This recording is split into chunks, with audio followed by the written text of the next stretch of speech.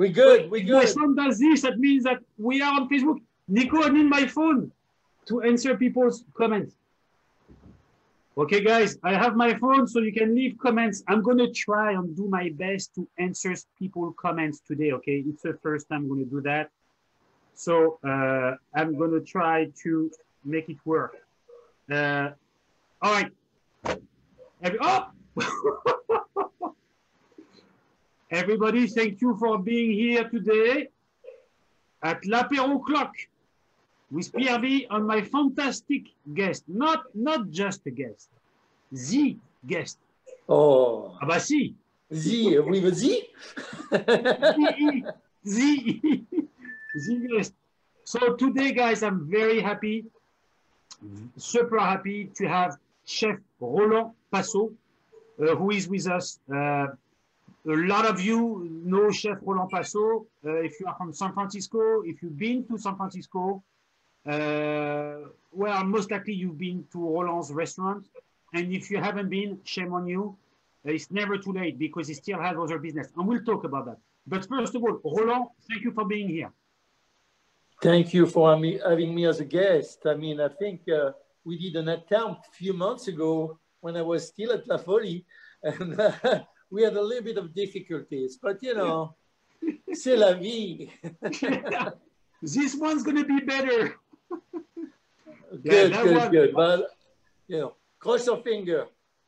That's right. Otherwise, we'll just drink and we'll talk, and nobody will listen anyway. You know, at the end.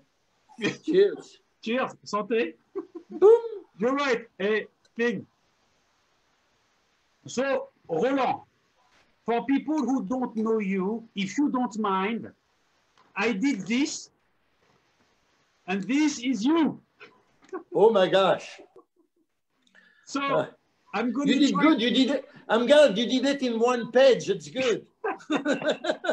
Well, look, you just I put the have a lot good thing. stuff. You didn't put the bad thing. I printed a lot of things about you. I had a lot of stuff. But uh, I'm going to try to give a brief introduction for people who don't know who you are. Then, you know, they'll be like, well, uh, who is Roland Passot? Chef Roland Passot. Well, let me, do you mind if I take two minutes? Is that okay with you, Of Roland? course. Go ahead. Go ahead. And then we go into the details and we learn more about your experience. But I'm going to try to sum it up. If two words, three words to sum you up, when I look at all those interviews and articles, will be passion. You are a man of passion. You love people. And you are an expert in food. So that's the three things that when I read all those stuff, saw those videos, those three things always seem to be very uh, evident. Um, so that's who you are. If I have to sum it up, that's you. Where are you from? You are born in uh, the city, beautiful uh, city of uh, Lyon in uh, France. For people who don't know, Lyon, this is the flag of Lyon. This is the capital of food in France, not Eh, eh. Paris, Lyon. If you want the best food, the best chefs are trained in Lyon. So this is where you're from. You're born in Lyon. You started your career in Lyon at the age of 14 years old. I was a baby. I still am. But that's early. I mean, you know, it's uh, eh, Yeah, well, but you know, those days we start we started early, you know, 14, 15. If you were not that good in school, you had to find a job somewhere. So you are either going to be a mechanic or in food, in a restaurant uh, and some type, you know, I mean, it's usually where you end up uh, going. And uh, I was not too good at mechanics. So, you know, food was more my thing. And uh, I did already at the time uh, was a gourmand. I love to eat. And I love to lift up the casserole that my mother was prepping when I came back from the school. So, you know, it was uh, of an early age, a passion, a passion for eating at least. A passion for eating. Well, that's good. I'm trying to check my phone as we go, Roland. Huh? Sorry for that. I'm just trying to see if anyone had things.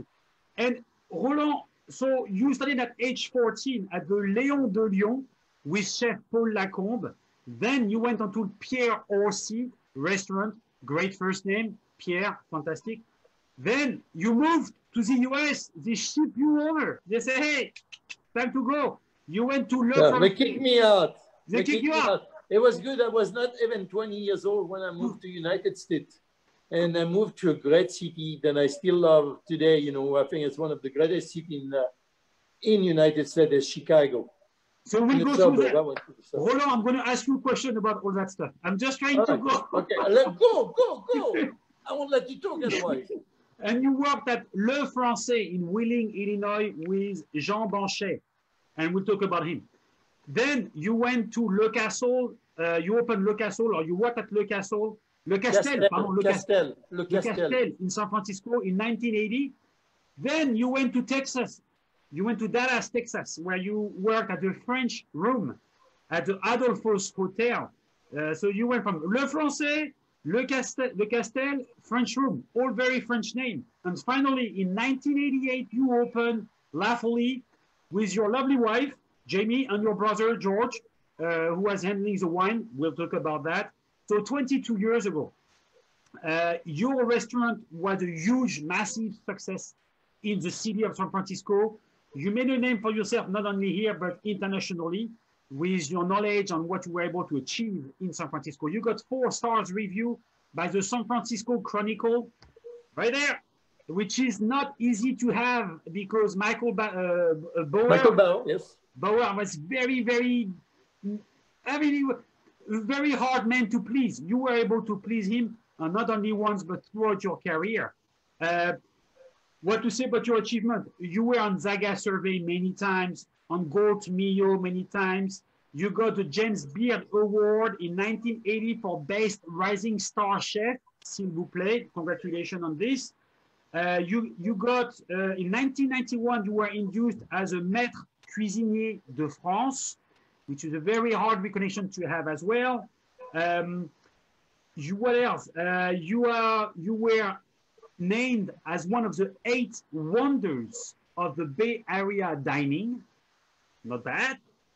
And I mean, I could go on. I mean, you have a lot of uh, recognition. My point is, uh, you're the man. I'm the man. You make me feel old, man, you know. No, no. Soon you're going to call me a legend. You're sti- you still are the man. Don't worry, you still are the man. No, that's good. That's good. That's good. I like it. And so that was about La Folie. But then that was not enough. You're like, well, I'm very successful, but there is a lot more to be done. Well, so here are a few businesses you are involved with. And I'm going to put in the background the pictures of those guys. One of those, Left Bank. One of the other one, the most recent one, Meso, M-E-S-O, Meso in San Jose in Santana Row. And let me try to grab, I have one more I'm going to show. Uh, where is it? I need to find the logo on there. Sorry, guys. LB Steak. LB Steak. So you are involved with LB Steak. You are involved with Meso. you are involved with the brasseries. I've got here three brasseries. So that's what you've achieved. And you're achieving because this is, you're working on those. Meso is brand new. So this is you in in a nutshell. Eh, I have to take off my hat. me too. oh, I like the, I like your haircut. Show me those hair. Show me those hair. Monsieur de la Housse. Monsieur de la Housse, the French, uh, you know, JT. Ah, de yeah, la oui, ah oui, c'est vrai, c'est vrai, that's right. Well, it's better with a hat. So, well, you are, you have an unusual profile. You've been very successful, and let's share how you become successful. Let's go back. Let's go back to your roots. Tell us your story. Tell us what makes you who you are. Uh, let's start with Lyon in general. Can you tell us about your beginning in Lyon?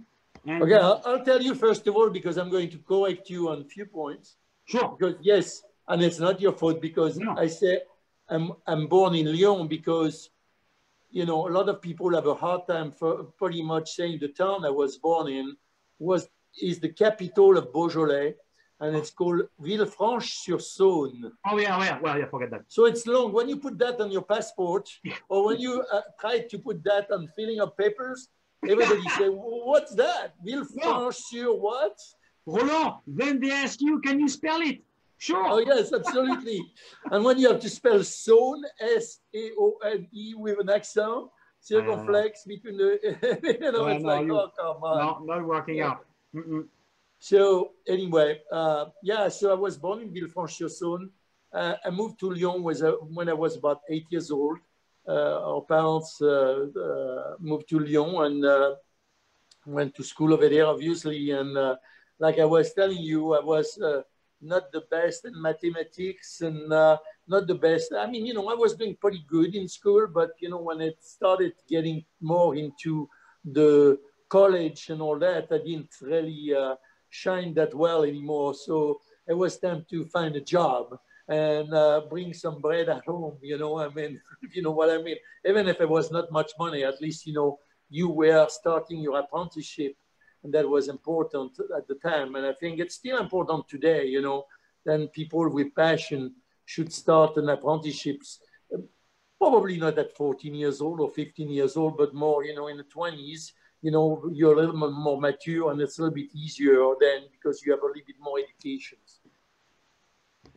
Got it. So in Lyon, when I work in Lyon, uh, I started working. I, I, I did some schooling also. Uh, uh, I did the lycée technique hôtelier uh, in Vénissieux, within the suburb of uh, Lyon, and uh, I was going with my Mobylette because I didn't have my driving license yet at the time, and uh, I was working in restaurant, and some of them uh, were one one of my uh, fond memory I mean, uh, I worked in restaurant in Provence, but I also worked in a restaurant above Lyon, in a Col de la Luère.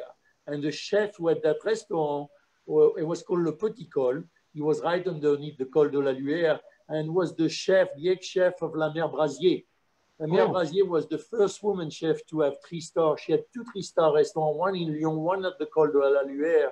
And in the, uh, in the 50s, you know, all the the dignitary were coming, you know, like uh, the president and uh, uh, a lot of movie stars and all that. And it was uh, quite a lady. She was a Navy set lady. You can see online Mère Brasier, and she she was a character. She was really tough.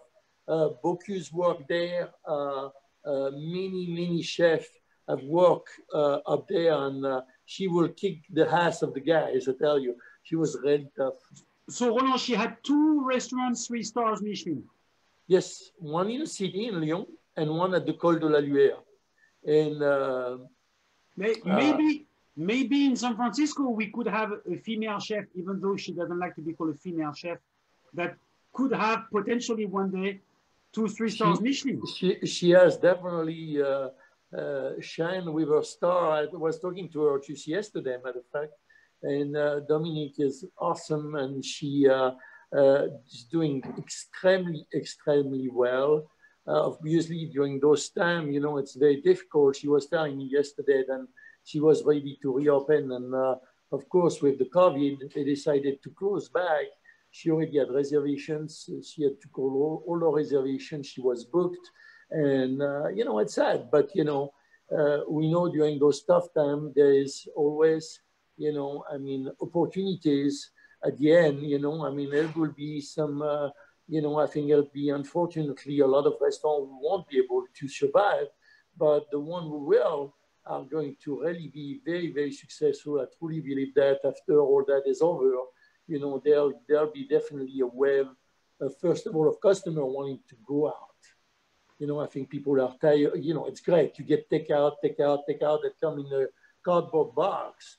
But, you know, it's a lot better to eat in a plate and all that. So now, you know, can at least sit outside. But a lot of restaurants in the city, you know, with the weather we have in the summer, I mean, you're freezing.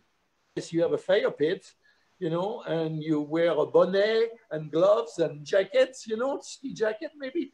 You know, otherwise it's it's tough. It's really tough for uh, restaurateurs and uh, uh, to survive in that environment. And you know, unfortunately, this is what it is. And you know, life is full of uh, good and bad surprises. I remember ourselves when we opened La Folie in 1989, 88. In 1989, we had the earthquake, and uh, that really, you know, messed up with our business. We were really suffering for uh, uh, you know, I thought it was going to last just a few months, maybe maybe a few weeks even at the time, and it ended up lasting almost the entire year for us because we were brand new. We opened in March '88. You know, we were a year and a half old really, and uh, it just killed our business. First of all, people from Marin or East Bay were not coming in anymore. Ah, yes. So we just had the people from the city, and a lot of people in the city still didn't know us yet. We didn't have really a, a strong base of customer yet. And, you know, it takes years to build up your customer base. So, you know, it took us a long time to recover. We, we, we had some tough time. But, you know, there is always challenges. And in doing those challenges, you reinvent yourself. I remember doing that, that days of the earthquake because we were doing so, so poorly. I remember my wife was like, oh my God, how are we going to pay our bill? You know, and uh, so I created what we call the Petite Folie. And it's when I really started doing my food from Lyon, really, you know, from, uh, you know, uh, I will do uh, uh escargot, I did, did the parsley and garlic soup with escargot, I did, I was doing duck confit, beef bourguignons. So pretty much bistro food at that stage. And the menu was $25 for three courses, no choice. So every week was the same, uh, was a different menu, but no choices. So it brings us great press. Michael Bauer did love us for that as well. He, he, did, you know, and thank God, you know, he put us on Food and Wine in a lot of national publication as well. So that helped us survive. And this is what it is right now. It's surviving. How do you survive? Take out, you know, outside seating and doing other things, you know, and I think it's what's going to be, you know, some people are really, really clever in the sense of, you know, they prepare kits, you know, they send the, the, the directions and they do it live online sometimes, you know. So I think people are getting really clever. And I think in every difficulty, there's opportunities. And I truly believe that, you know, and the people who are strong and who are smart really also as well are going to shine and survive. And, you know, not everybody is going to be lucky. Unfortunately, you can be, you know, as smart as you are, but, you know, if people don't come to your doors, then, you know, it's going to be very difficult to survive. And I think the, the people also who have been longer in business are going to be able to survive a little bit longer because, you know, restaurant business is, is tough. Uh, our profit margins are small. So, you know, a lot of restaurants in, in, in, a restaurant business, it used to be, okay, if you do 10%, you're doing good. People were doing over 10%, they were doing really good. Now, four to 6%, if that, with all the way the city is structured, is very, very difficult. So it's a difficult time for, for those, those restaurateurs. And the people who have a little bit of money in a bank are going to survive because they have enough maybe for a year. But the one who just have a few months ahead of us, of them, they won't, they won't be able to survive. I think it's going to be very tough. Isn't that amazing when we are not from the industry? To, I mean, when you talk about four to six percent margin, we're in the Silicon Valley, I don't think there are too many businesses who are able to raise a lot of money by saying we're going to make four or six percent margin, because that sounds. no, it's it's ridiculous. It's very you know. So it's why we're counting on customers to come and to help us. Really, you know. I mean, yes. uh, you know. I mean, yes. It, it's it's really yes. really tough for all those restaurateurs and it's Dominique or uh, Gérald Hirigoyen from Piperade just went over there had fabulous lunch the other day uh, or, or Claude Le Tohic at 165, or, yes. you know, Laurent Henry at Café de la Presse. And I'm talking about French restaurant because, you know, they're my buddies, but, you know, uh, uh, I know, you know, there's Laurence Jossols, you know, with, uh, who, who has uh, the restaurant and he closed one of them uh, in, um, what's the name of it now? oh, used to work for me. And, you know, those guys are, are, are wonderful, but, you know, some restaurants won't survive. They cannot keep up with everything. Even ourselves, you know, I mean, we're hoping to keep all our businesses, you know, then it's Left Bank, Meso, and uh, LB Steak. Uh, but we know how difficult it is, and it's dealing also with the landlords, and you know, and the cities, and the different cities have different rules, you know. And San Francisco have never been really very easy on helping the small businesses. So you know, hopefully, you know, they learn and they help us out a little bit more. Uh, but you know, landlords also have the role to play. You know, are they expecting us to pay full rent?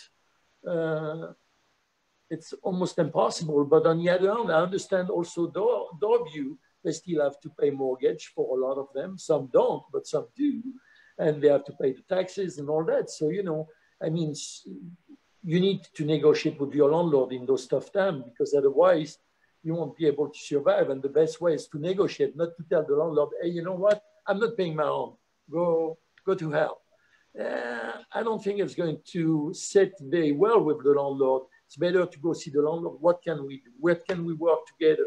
Right now, my business is down 75%. You know, so can I pay you 75% of the rent less or 50% less? You know, everything is negotiable. But I don't think you can expect any business to say it's going to be free. Nothing is free. Eventually, you're going to have to pay. So, you know, you negotiate and maybe instead of paying right away, maybe you pay next year when your business is back in fully in full business. So it's kind of a loan with no interest maybe for, from the landlord.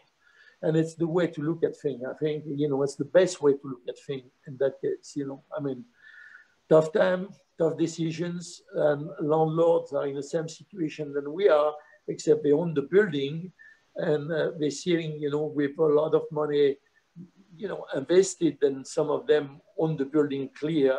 So, you know, it's a little bit easier for them, but, you know, I think you cannot expect them not to receive any type of payment because there is no business, you know, and maybe some of them will say, okay, you know, we'll give you a month's free rent, and then after it's 50%.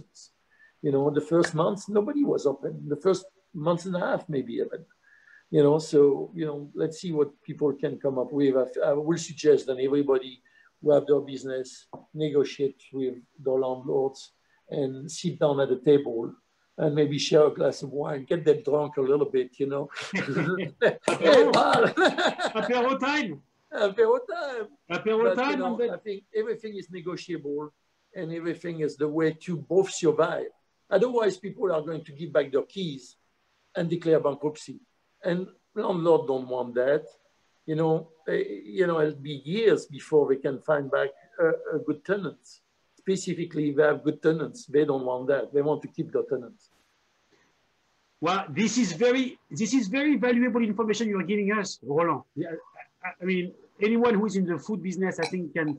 I mean, you know, those are great advice. How may I ask you how you how how you did deal with your workforce, with your team? Because you know we talked about that before. You have been successful because of the people around you. You know, your close family, your wife, your brother, but your staff, your staff is part of your family, and you've been the, the staff is be... the you know in the restaurant business, the staff is our family because you know we 12, 14 hours a day uh, for some of us together.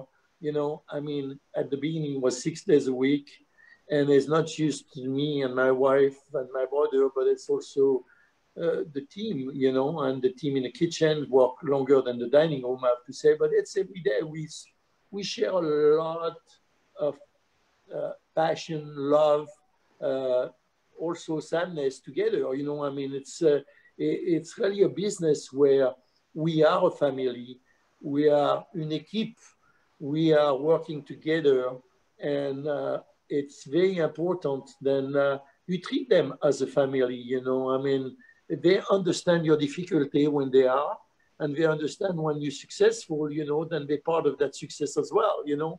Uh, so, you know, you want them to stick with you. And I have to say, for my team at La Folie, and it's from the servers to the sommeliers to the dishwasher to the cook to the chef. Everybody, when I announced that we were closing on, in January, then we were going to close in March 15, not knowing that COVID was going to happen, You know, we knew that Crazy. there was something going on, but you know, we didn't know that we were going to close. Everybody stayed. I didn't have one person leave, not one, in a kitchen, in a dining room. And you know, I made them really a promise to find them a job. Unfortunately, you know, I had people set up at the Four Seasons, had people set up with other friends and all that. But unfortunately, that thing happened and it's make it difficult for everybody because right now nobody is hiring anybody. You know, they're retaining some people and the other ones are now furlough. And, uh, you know, it's Well- surviving mode. It's surviving mode. Roland, Roland, maybe if someone who is listening to us, maybe maybe if they have an opportunity where they should reach out to you, and maybe you could Yeah, yes, absolutely. help out. Um, So I have uh, some of my employees. I've already put them in, in in contact with some people who are opening restaurants. Believe it or not, at that time. So uh, you know, we hoping then that will work for them. You know, my chef de cuisine, uh, one of my sous chef, and his wife who was one of our best server at La Folie. So uh, I think you know I'm here for my prep cook who's been with me for 18 years. So I've been using him here and there at La Folie to clean up, finishing cleaning up. And I am really trying to find him a job because he's awesome. He was with me 18 years. He rarely calls sick. And, uh, you know, I want to find him a good home. That's why I had him work. Uh, I was going to uh, have uh, uh, the chef of the Four Seasons in San Francisco was really interested in having him in his banquet kitchen, and it was perfect for him because he was going to get benefit and all that, and a lot of things for his family, and he was really excited. But now, you know, I mean, Four Season is closed, you know, and uh, there's no, unfortunately, no job. Uh, Roland, ju- just a little paraphrases as you're talking. It's funny because on uh, on Facebook Live we have some comments from some of your previous customers, and uh, and it's funny because we had a bunch of people just letting us know what was their favorite dish. So I just want you to know that the signature quail dish, Oh, the Wow. Quail and Squab. yeah, So Maria, Ma- Maria Robinson seemed to really like Oh, that yeah. The, Uh, bonjour, Maria. Yeah, Ma- so Maria is watching you. Uh, the chef's Colorado lamb as well seems to be a Yeah. dish that. Uh, But the, the lamb is not from Colorado. It's from it, it- it's from uh, Davis or near Davis in Dixon, Ah. from uh, Emigh Farm, a little farm. I, I met the farmer, and it's him and his daughters, and they're doing an awesome job. Awesome job, Emigh and Dixon, near Sacramento, near Davis.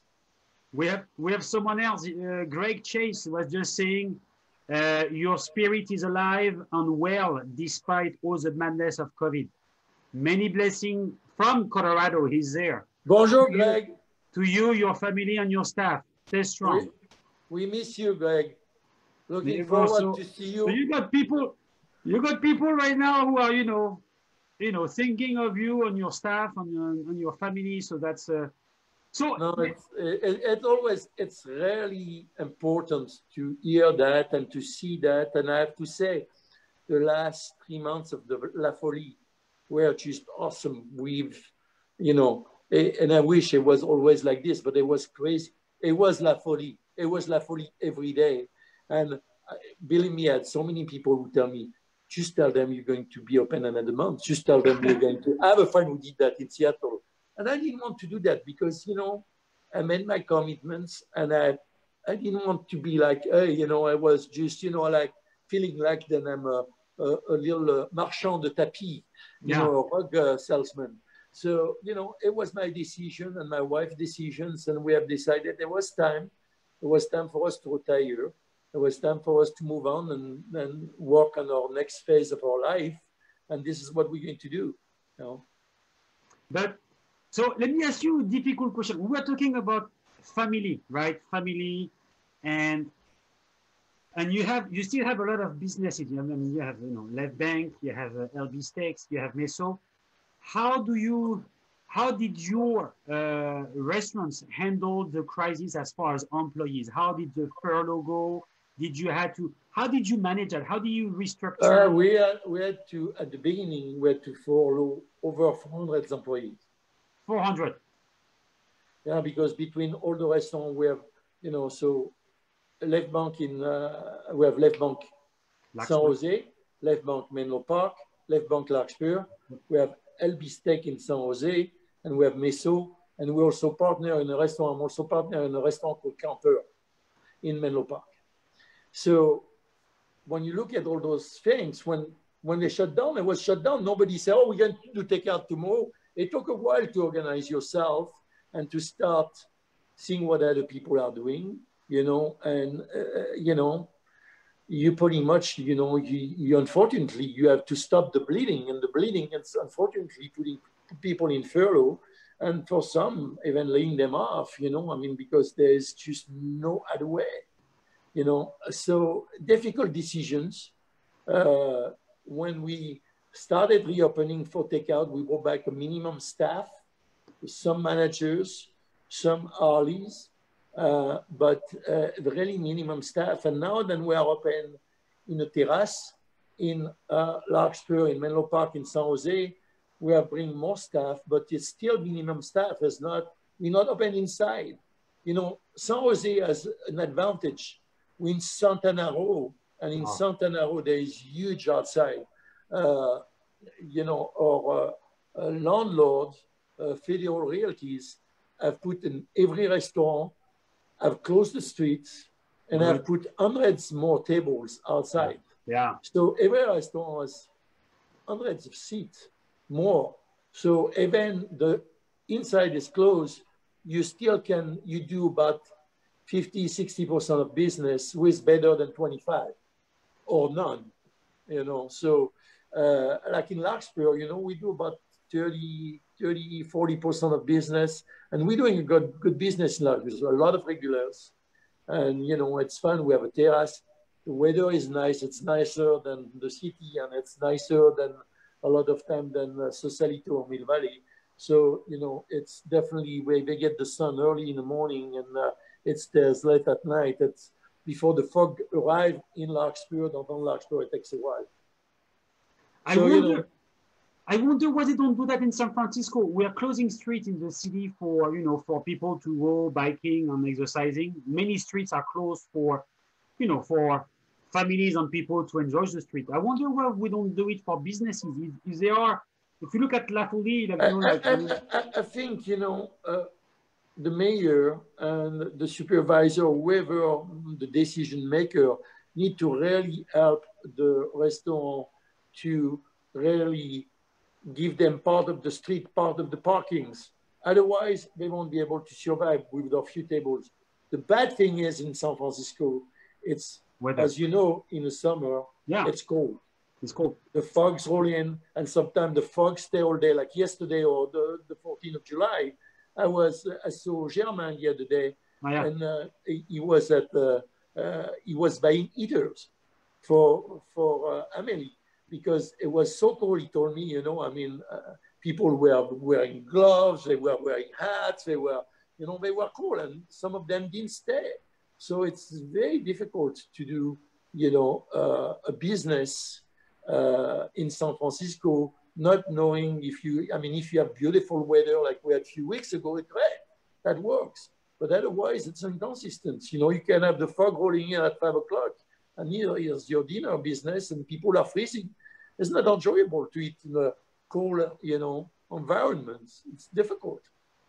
Well, I know that Germain Amelie has been trying his best to make things work out, right? You're talking about trying to be. Oh yeah, he, he's smart. He's very smart and very aggressive, and he's he'll make like like I said, you know, on the 14th it was very cold. On the 15th he was at Home Depot buying, you know, eaters because he cannot afford yeah. using those tables outside, even if it's cold. And he, you know, it's what you do. You invest and you say, okay, you know, we're going to invest on heaters because otherwise people are not going to stay. They're going to go to the place across the street or maybe somewhere where there's heaters because they don't want to eat like this. It's miserable. I think something, of, you know, we talked about that the last time, but something that make it, made you successful on your business successful was the fact that you were at your restaurant every day uh, yeah. or six six days a week. Six Today, days a week for many years until until we closed one more day. I was there six days a week, pretty much for let's say 29, 29 of the 32 years. I was there six days a week.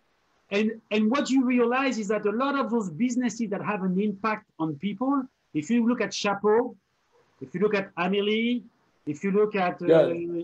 you know Hirigoyen, uh, right? You were there last week. They are successful because they are there. They yeah. are at the business.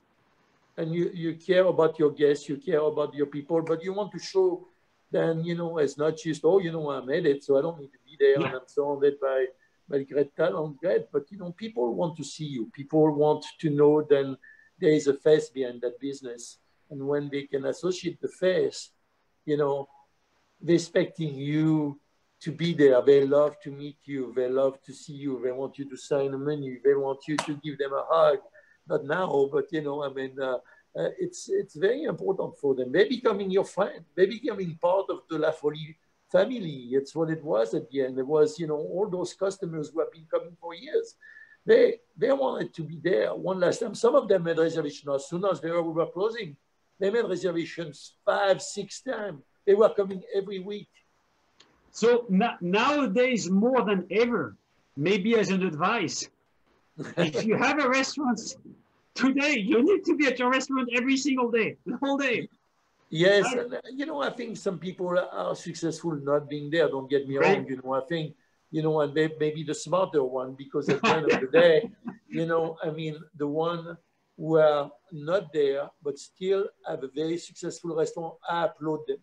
You know, I applaud them because they surround themselves with great people and maybe you know, sometimes it's a question of trust. And at the beginning, I have to say, you know, I feel like I needed to be there. I needed to be there. And then it blew on me and it get to a point where I feel like I never could leave.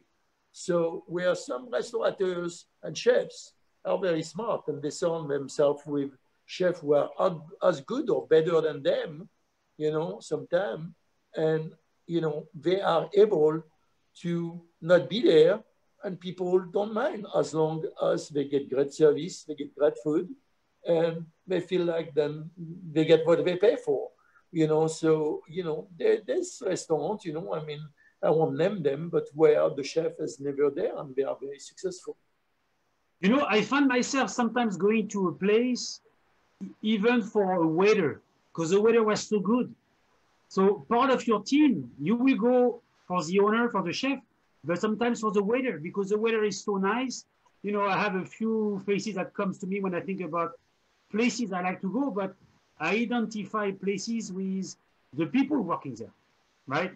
So I agree, and it's why I think in the old days, in the old days, you were, you know, you had uh, the maitre d', the captain, and the server, but you know, and it was important for the guest, but the chef had a lot of time, the chefs and the cooks uh, had a disrespect for the front of the house. I mean, you know, I'm not, uh, you know, uh, judging, but, you know, it was the way it was because, oh, we work so much harder and this and that. At the end of the day, today, you have to realize the success of a restaurant, you know, it's probably even more in front than it is. The food has to be great but I will say it's 50-50, but it could be 60-40 even. Because let's say you go to a restaurant and you like going to that restaurant because just like you said, because a server, or you know, and that server, she is wonderful. She, she, you know, really take care of you. She described the food wonderfully. But, you know, one day, for whatever reasons, you know, your food get overcooked or, you know, it's not the same and but that server is here, and that server is going to make you, yeah, I'm really sorry, Pierre or Mr. B, you know, for, you know, let me do something for you, you know, let me, you know, I'm, I'm going to make sure the manager know and will, you know, and suddenly you get something you get camp or, you know, you get someone who, who's re-inviting you and suddenly you feel like, well, you know, I mean, they really took care of the problem. It was maybe not their best day that day, but you know, I'm going back because of that server who really realized and listened to me and realized that, hey, you know, I mean, something happened today, but, you know, I mean, and you were not making a big deal out of it, but you wanted them to know.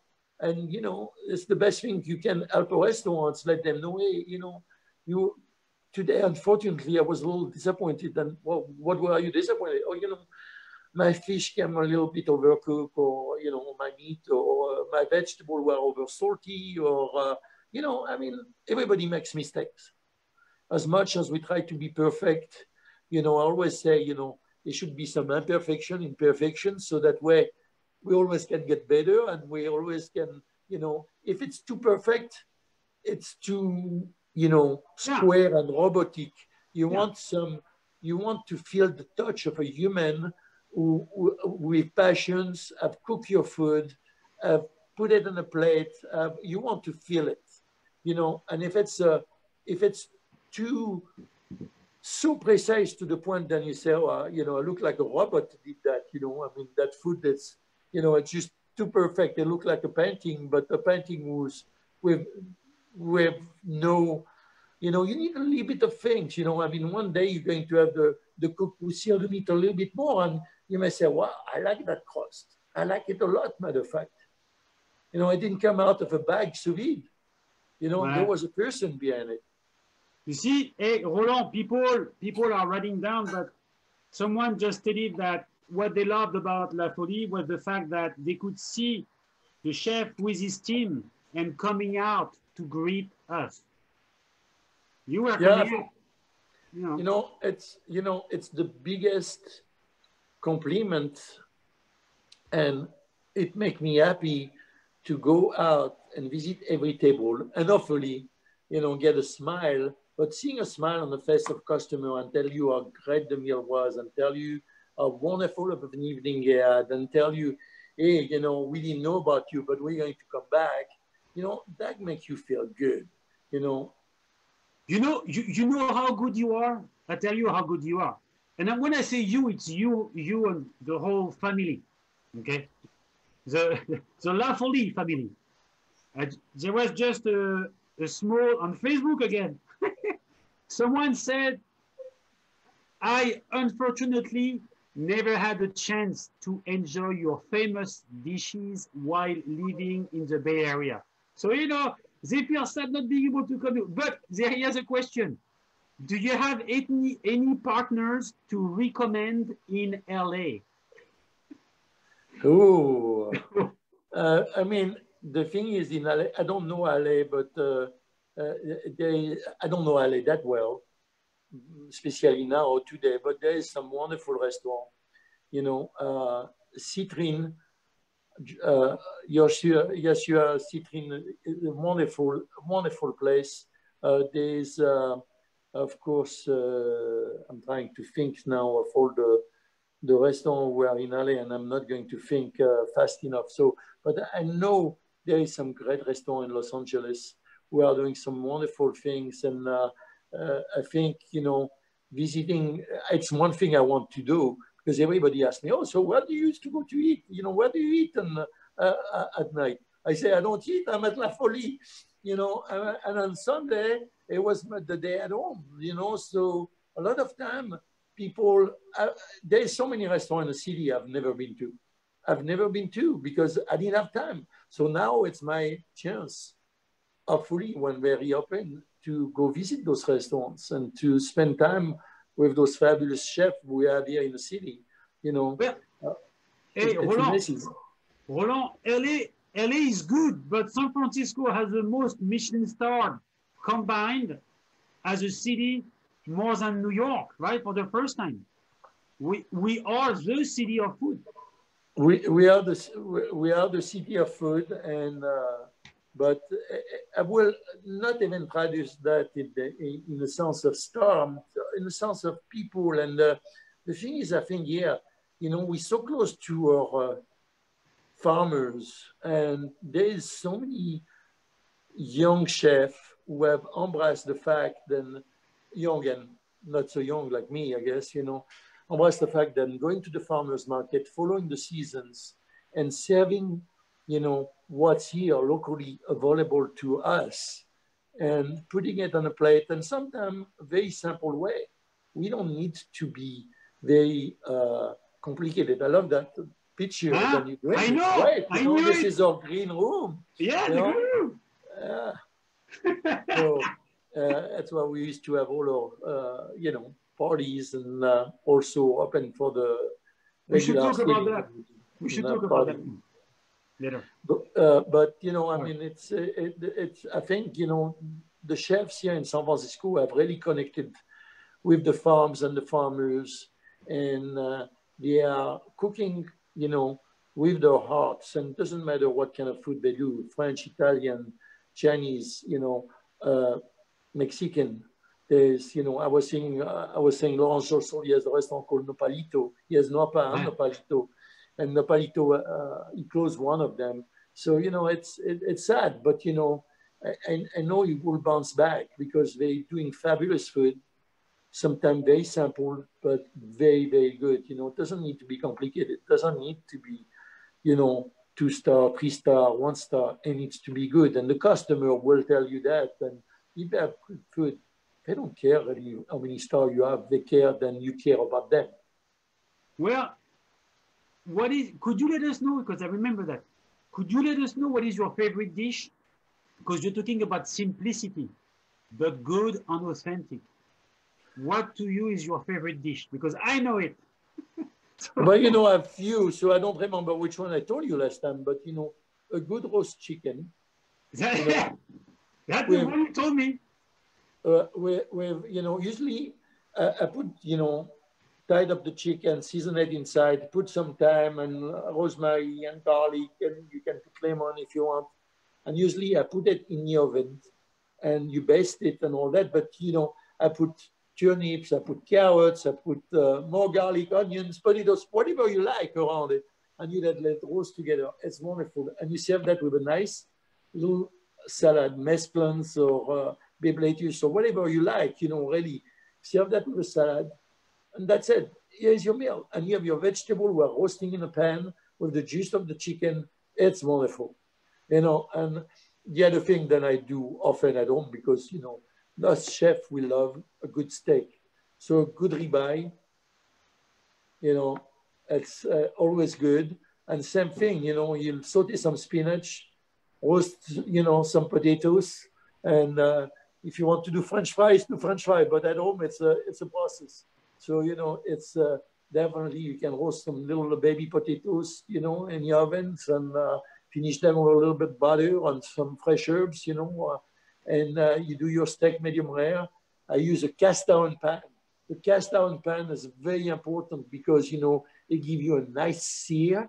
And usually if it's a ribeye it has enough fat, you don't need to put anything in a pan. Turn on the pan, let the pan heat up, season your steak with salt and pepper, and you can be heavy on the pepper. Let's say you want to do a pepper steak, then, you know, sear the meat on one side, let it cook for five minutes, depending on the thickness, of course. You know, I like my, my, my steak you know. An important part also, you want the steak to be at room temperature by the time you put it in the pan. So pull it out of the refrigerator. Don't pull it out of the refrigerator and put it on a, on a grill or in a cast iron pan. Just make sure it's at least at room temperature so that way all that fat's going to melt. And make sure after you cook it, you let it rest before you cut it. Let it rest at least five minutes. There you go. Hey, we got the And, chef right and, there. and, and, and if you want to do a pan jus, so very easy for the pan jus. So you take the suc of that, that pan with a lot of, you can crack your paper, put it on your steak a little more. You put your, you know, so your pan, you have all, all that seasoning and all that. You deglaze with a cognac. Ooh. So you be careful, turn off the flame, otherwise Yeah. you're going to have a flame coming out in your ho- hoods. So deglaze with the cognac, let it boil so that way the alcohol is gone and turn it back on and add a little bit of cream. And here you have your, Oh. you know, you can, if you don't have green peppercorn, you just have a peppercorn sauce. You know, you don't have veal stock at home probably, so you're not going to use veal stock. You can do that with red wine also, let it reduce, finish it with a little fresh butter you know, like have a little bordelaise, add some shallots to it, you know. So, you know, cooking at home, and it should be the same in a in in, in some restaurant. It should be simple. It should be really, you know, really really simple, but really really good. And uh, be, you know, take uh, take attention to the technique and uh, to to the quality of the food you buy. Roland, I, love, down to that. I cannot agree more with what you say because my one of my favorite food is a very good bread with a very good butter, uh, uh, semi-salty, uh, uh, beurre salé, and with camembert. Uh, voilà, you know, No, no cooking required. no cooking required. You know, but good saucisson and uh, Oh, yeah. good pâté and. Uh, if you Pâté, don't make your own pâté, you can buy some good pâté. And I tell you, the other day, I went to see Claude at 165. Oh, not I to it too. And he had he had a beautiful pâté de campagne. He does those six kilo. I got a slice. It was wonderful, wonderful, Well- wonderful. We had that for lunch with my crew. We were doing a dinner Oh. at some customers of mine and uh, in Hillsborough. And uh, I told the customer, I said, you need to try that pâté. And uh, they had lunch with us before the dinner. You know, it's funny you say that because I just stopped yesterday at 165 to try the rillette. Yeah, That he does a great rillette. job. Yeah, and the sausages too. They're fantastic. They're doing a very good job with their charcuterie. No, Sorry, does a very Sebastian from. Fabrique Délices. Sorry. No, I mean, I'm talking about home, you know, homemade. Yes. So Sebastian does a good job. Oh yeah. So is so is Pascal Bosset down in uh, in uh, Sub- uh, uh, Yeah. in Los Angeles and all that.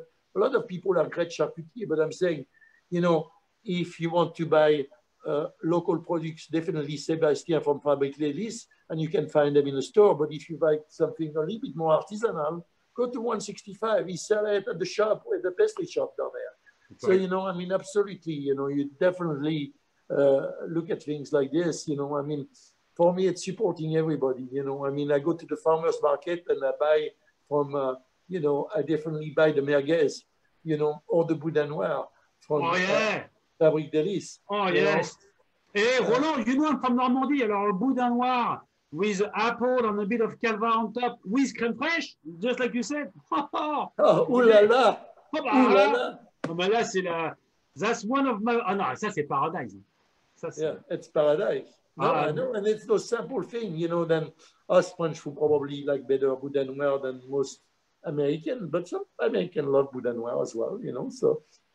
Sorry, hey Roland, you're talking and drinking. Hein. Look. And I'm drinking my wine. Look, look at my wine. oh yes. Can you? Hey. Oh, you know what? Can you tell us about this wine, Roland? Can you can you tell us the story of this wine and what it is So- and where we can access it? Sur un coup de tête. So I told you earlier that I'm from uh, the Beaujolais. I was born in Villefranche-sur-Saône. Correct. Yeah. And uh, the Cru du Beaujolais, you know, I, I think Beaujolais, unfortunately, has, uh, you know, been known for the Beaujolais Nouveau, and people don't know this fabulous cru. And the Beaujolais is part of Burgundy. It's the bastard child of Burgundy. You know, it's a gamay grape, but you know, they do some great Beaujolais. You know, and this one is made by one of our cousins in Chiroubles. Beautiful Chiroubles is one of the highest. Un coup de tête, voilà. Un coup de tête. Sorry, guys. Sur un coup de tête, in, English, uh, I mean, translate to on a whim, you know. And uh, so that wine was from Chiroubles, it's the highest elevation of Beaujolais. The vine are 50 years old. You can find the wine, we have them at Left Bank, uh, and uh, I think at Steak as well. I don't think at Meso we have it, but we definitely have it at the Left Bank at the Brasserie. And ask for it. If you don't see it, tell them, where is the, the wine from Roland sur un coup de tête? You know, so it's a great wine. It's easy to drink. It's perfect for a picnic also. You can drink it a little chill or not. I would say at least to the temperature of the cellar, around 55 degrees is great. But if you want it a little bit chiller, you can do that too. But uh, uh, I will, you know, it's not a Beaujolais Nouveau. It's definitely a vine with a lot of structures. You know, we have, uh, you know, have a lot of characters and a lot of layers.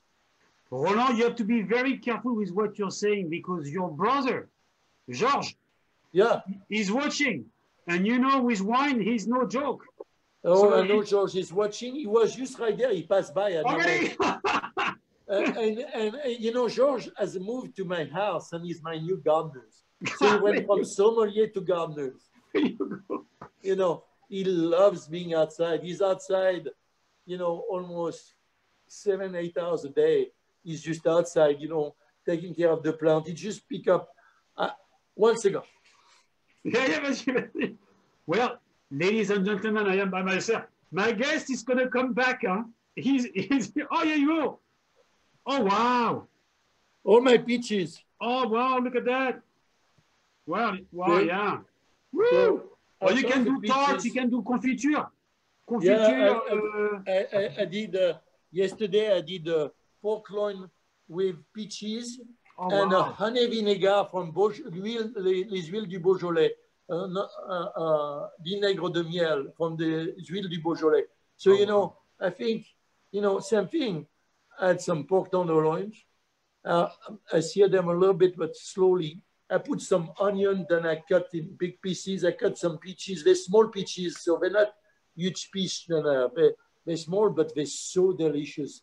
And I have so many. I said I'm going to do a peach, uh, you know, uh, a pork loin with peach. So I deg- deglaze the pan after with uh, the honey vinegar. I add a little bit Oh of beer God. stock, so I sheet it a little bit, you know, add some beer stock, and then, then I roll back the pork loin in it, and uh, we with with that, uh, you know, we just serve some vegetables and all that, you know, and it's good. Well, hey, It's Roland, Roland, we are all coming to your house. Everybody who is online, Uh, yeah, yeah. We're all coming.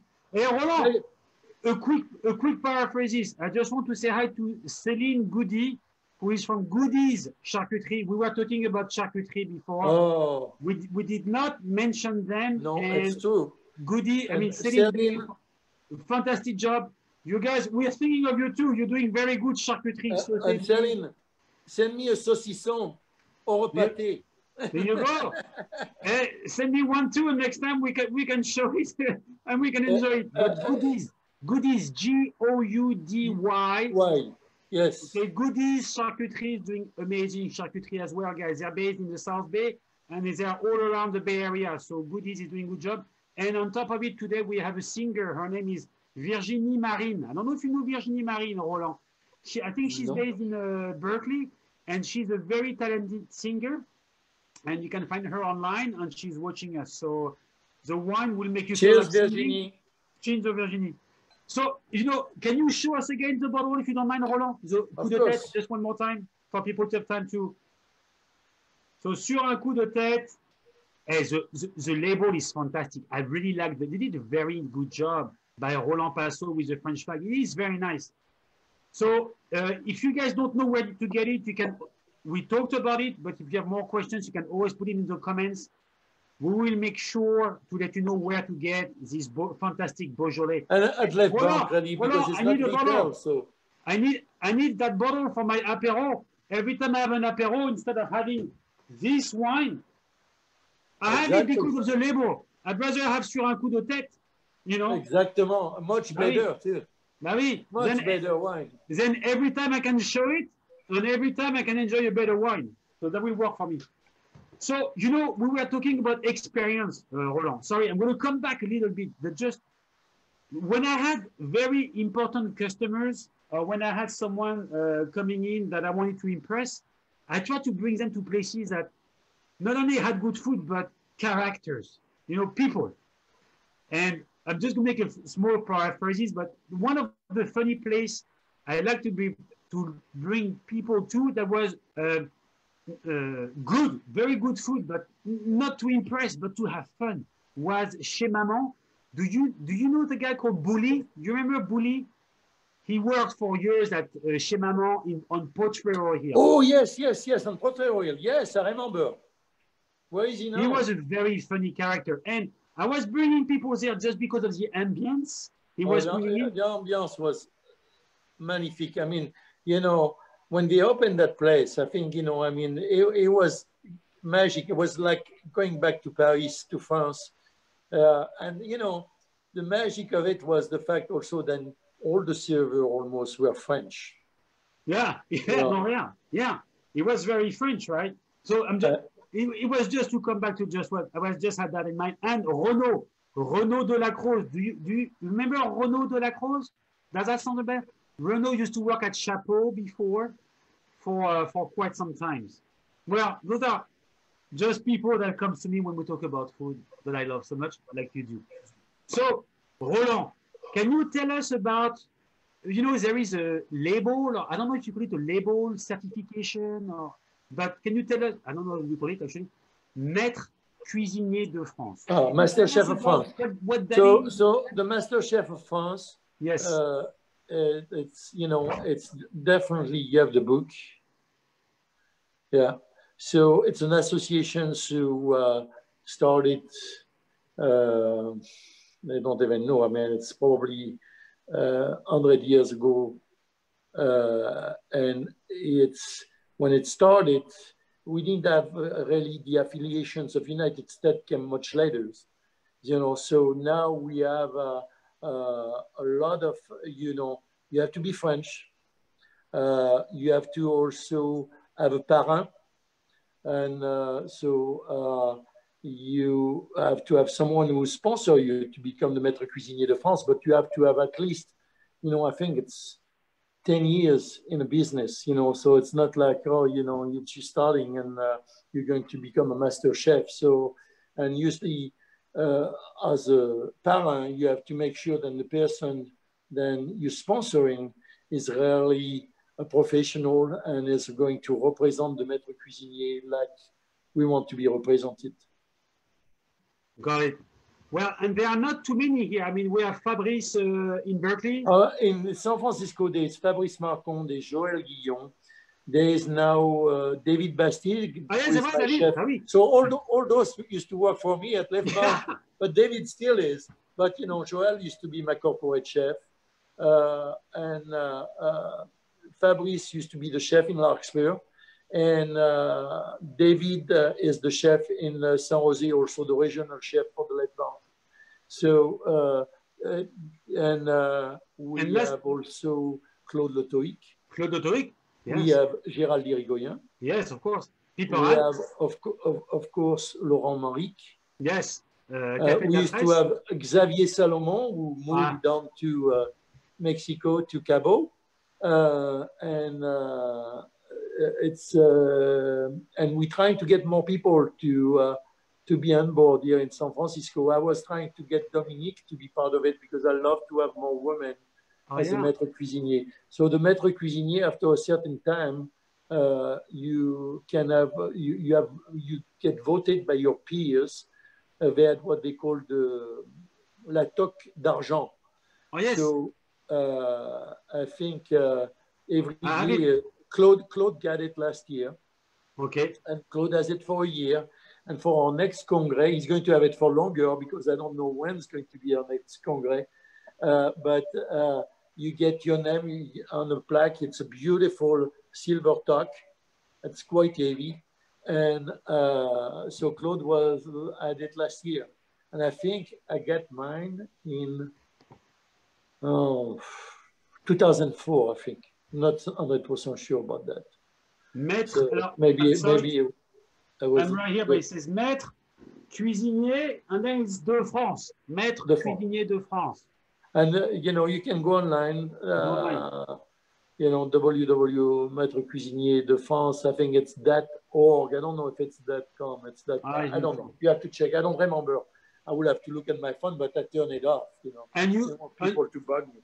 and all those chefs came last year to San Francisco. You guys were All the chefs hosting. came last year, so we had a, a fabulous, fabulous uh, uh, eventment for four days, where uh, you know some uh, the the gala dinner was, matter of fact, at the Four Seasons on Market Street, Oh yeah.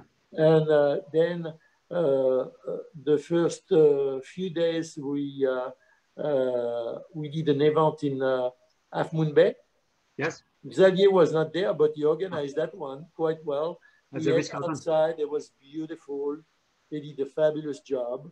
And then the next day we were going to Napa. So we went to Napa and we stopped at Taittinger, yes. who uh, they receive us. Really, it was absolutely wonderful. So we had a little uh, uh, cocktail aperitif. And then from then we went to Ad Hoc, where Thomas Keller was waiting for us for a picnic. And uh, we uh, had a fabulous, fabulous, fabulous time. We spent three, four hours, I think, with Thomas, and then he took us to his garden, where we, we give him the maître, the, we give him the maître cuisinier, la médaille d'argent, and we had another reception over there. So more food, more champagne. And uh, it was in be a beautiful garden, beautiful Yountville. He also gave us a tour of all his kitchens and his wine cellar. We had fabulous time. Uh, we even saw Jean-Charles Boisset over there. Oh, yeah. But, uh, well, yeah. and Jean, the famous Jean-Charles, you know, uh, it was, it was to. fabulous. We, we stopped by the L'Atelier and he was right there. So we had great time. Uh, and then after that, uh, we went to Mondavi where we had a dinner, you know, al fresco uh, under the star over there in the vineyards. That was beautiful. And then we drove back to San Francisco. And then uh, the, the next day was our gala dinner. So we were at work all day, uh, you know, obviously that day. And then uh, they, some of them stayed a few more days and some of them left, you know. But it was fabulous time, really. Really, really good I time. just- Well, I wish we had more time to, to show them more things. But I think, you know, it was important to, I wanted them to visit also the school, but we didn't have time to do that in Napa, you know, the, because it's a fabulous school, but, you know, we couldn't do everything or do the, you, you know, the copia Yeah. uh, in, uh, Yant- I mean, in Napa as well, you know. So. Ma- Maria, Maria on Facebook, she was saying that Maître, uh, you know, uh, Cuisinier de France, but she was as well as referring at MOF, which Um, is MOF, you have to ask Claude. Claude, different. Claude Le Tohic is the only MOF cuisinier in San Francisco. MOF, so it's a competition who happen every four years. Uh, you have a, a semi-final in regional, so you know you have to be French, or uh, I think you still have to be. And I think you may be able to do it if you live in France. I don't know, but don't quote me on that. But you have to. Uh, I'm pretty sure you have to be French because uh, I was going to try it one year and uh, uh, chicken out. I think uh, it was years ago. I was in Dallas at the time, and uh, you you have a recipe with a classic recipe, and you are, I think it may have changed now, but you have to execute it exactly, and you are judged by older chefs. You have a timing, so you usually get you know uh, an appetizer, entrée dessert, or an, an entrée and a dessert. I forget exactly how it works, but you know, and uh, you get the semi-final, and then you get the eliminations. The uh, uh, not, the, the last day is not one person; it could be four or five people. So by region, you get the semi-final, and each regions could have one guy who gets selections or not. You know, you have to have so many points. So it's pretty tough. It's a very tough competition. It's very well regarded. So when you see them wearing the col bleu, blanc, rouge, only the MOF can wear those. If you see a chef wearing the col bleu, blanc, rouge, you can ask them and say, you, are you an MOF?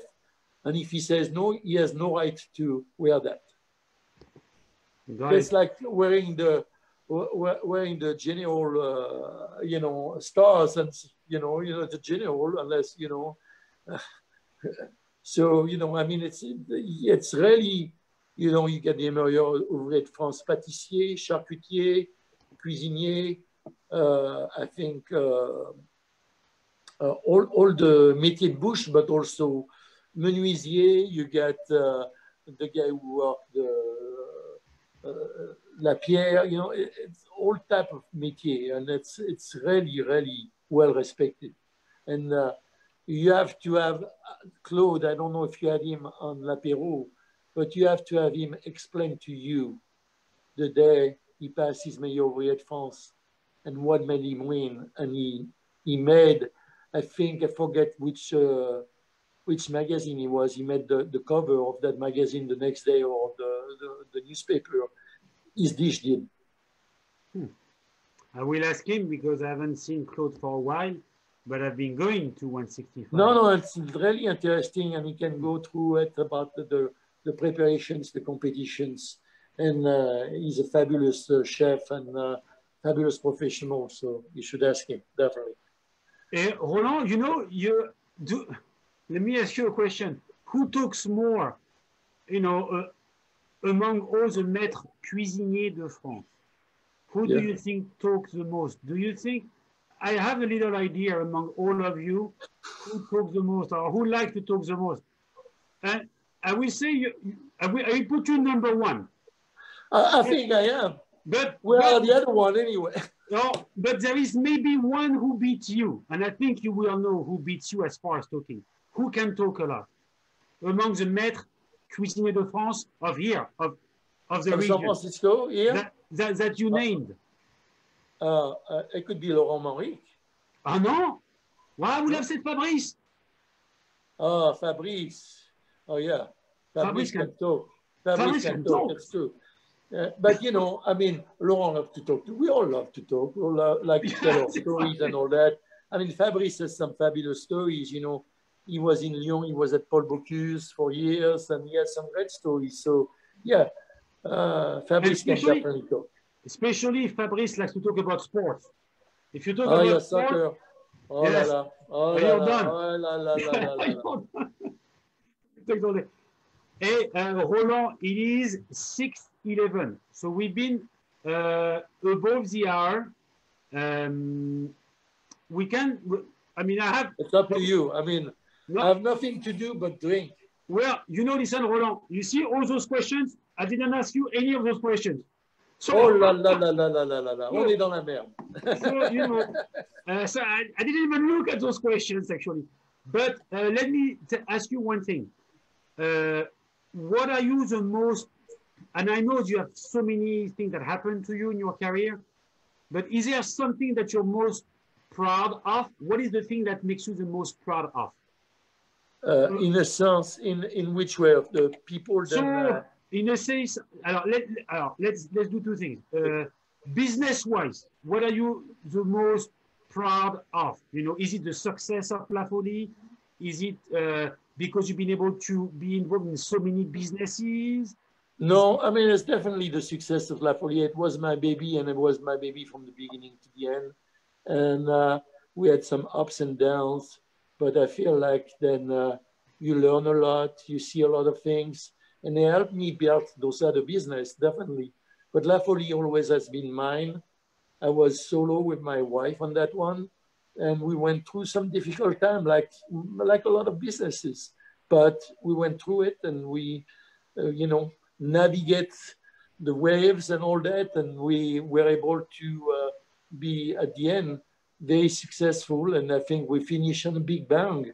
So that made me very happy. Even then, I wish that a young chef or a chef, doesn't matter if he's young or not, but you know, will take it over. Because you know, I would love to see that place that you have behind you uh, being taken over by by somebody. Could you tell us a bit more about this room in particular? So this room was added on. Uh, La Folie was 32 years old. 20 years ago, 20, 22 years ago, I took over the business next door uh, and I opened that room. The front was leased, was subleased to Pascal from La Boulange at the beginning. And then it became way too small and I wanted to open a lounge. So it was the perfect timing. He didn't finish the timing of his lease, but didn't matter because I took it over and we did the, the lounge. So that room was for private dining, private party, but also for the overflow of La Folie. But we did wedding, we did some special party here. We had many, many notorieties. And, uh, you know, it's fun, you know, when uh, you have a restaurant where, uh, you know, a French president come by and have lunch, you know, so that was pretty awesome for us. I think it was,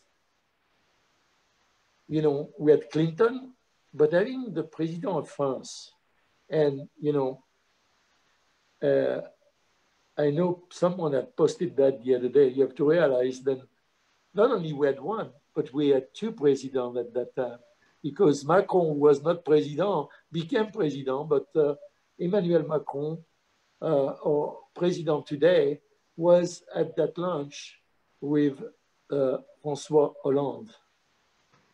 Wow. So Yeah. that, oh, matter of fact, I brought you the,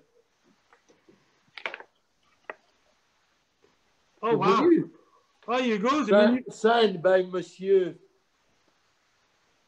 Oh, wow. Look at that. Oh, this is Monsieur cool. Hollande, So signed by, uh, by uh, President, by President François Hollande. Hollande.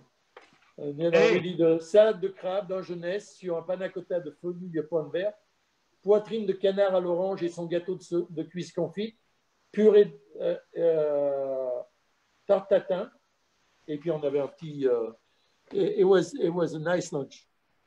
I have, had fun. I have something even better than this. Let me show you. I got something to show you. I And love look, that. look, it's signed. Ooh la la. Attends, attends, hold on, hold on, hold on. I know it's not too too. Wow. Wow. Do you see that? L'apéro. Ah oui, oui, oui. Ah bah oui. Je reconnais la signature. Hein. Reconnais la signature. Look at that, Roland. This is from you. It's here. It's in this house. hey, it's in the safe. It's in the safe. It's in the safe. Good, good. You never know. Yeah. People may come, you know, try to right. steal it from you. hey, Roland, listen, I think it's time to part ways. I really want to thank you for being such uh, a great uh, interviewee. We, I don't know who says that. Eh, For, for being who you are. Because I feel like I can, we, I can, I can make this happen for three hours. But people don't have three hours to listen. No, they don't. They don't. And I, I want to thank all the people who are uh, watching and listening to us. Thank you very much. And hopefully we do that again. Who knows? Yeah, well, yeah, why not? And uh, yeah, thank you for your time. Please, everybody, support your local businesses, support your local restaurants. It's important in those very tough times that you go at the restaurant, support them. There is it's a very very tough situation, as you know, for restaurants. They really need you. Go there once a week, twice a week, but you know they need your support. Um, if you have any comments, any questions, ask us. We'll be happy to answer them. Uh, L'Apéro, we have as well, we have a shop. If you want to shop some L'Apéro products from the marinière to hats to uh, uh, cups. Mask. We have a lot of stuff. So you You can mask? The mask. We have the mask. We have some very nice masks too. We have St. James mask and stuff. We need your support as well. Not as much as the restaurants. So put the priority, please, on the restaurants because they really need you. Um, Chef Roland Passot, thank you very much. Any last words for everybody? Do you have anything to add, Roland, before we part ways? Stay safe and healthy and wear your mask. Stay safe and healthy. There you go. Very well. Everybody, be well. Merci beaucoup. À À bientôt. bientôt. Bon apéro. Merci Roland. Vive Ciao, ciao. L'apéro et vive Pierre. Arrivederci. Salut. Salut. Allez.